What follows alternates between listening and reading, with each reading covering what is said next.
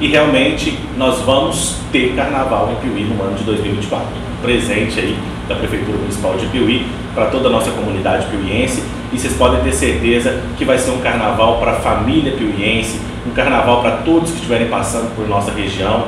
O ano passado a gente registrou aí 70% de taxa de ocupação na nossa rede hoteleira no feriado de carnaval. Tivemos vários passeios aqui de 4x4 aqui na nossa região então, é, todos os turistas que estiverem passando em Piuí, fica o nosso convite também, que é, se Deus quiser a gente está fazendo de tudo, vai fazer de tudo para que seja um carnaval muito bacana, um carnaval para a família, para todos. Né? A gente vai, são três noites de carnaval, né? 9, 10 e 11 de fevereiro, sexta, sábado e domingo. Na sexta-feira e no sábado à noite estão sendo contratadas bandas de fora para vir aí, bandas com renome, né, para poder renome regional. E no domingo a gente pensou em fazer com bandas aqui do nosso município, valorizar a cultura de Piuí. Nós hoje eu já fiz umas ligações aqui para representantes culturais para que venham cadastrar e fazer os, a participação dos bloquinhos. É, a gente pensou em colocar os bloquinhos no domingo durante o dia, a parte da tarde ali fazer o desfile dos bloquinhos e à noite, a gente inicia a noite com as marchinhas de carnaval e fecha a noite com uma banda piuiense de samba e pagode.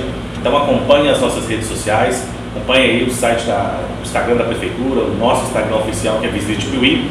E é isso, preparem-se que vai ser muito bacana, a gente vai olhar para todos.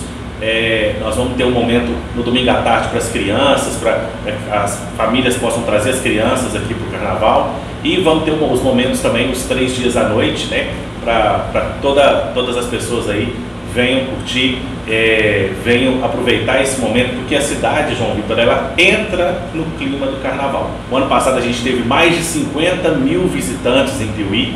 Para você ver, nós somos uma população de 36 mil habitantes e nós tivemos mais de 50 mil visitantes que pagaram, fizeram check-in nos hotéis e nas pousadas da cidade. E esse dado que eu estou te anunciando aqui, a gente está finalizando ele, vamos colocar, disponibilizar para a nossa população os números reais e muita coisa bacana vem por aí. Em breve estaremos aí divulgando o nome das bandas, as atrações, os bloquinhos, vamos abrir o cadastro dos bloquinhos que queiram participar. Então, muita novidade vem por aí e vamos entrar no clima né, do carnaval, vamos valorizar o nosso comércio local. Espero que o nosso comércio também já entre no clima de carnaval aí né, para que as pessoas possam comprar no comércio de Piuí, fazer o, o dinheiro circular na nossa cidade.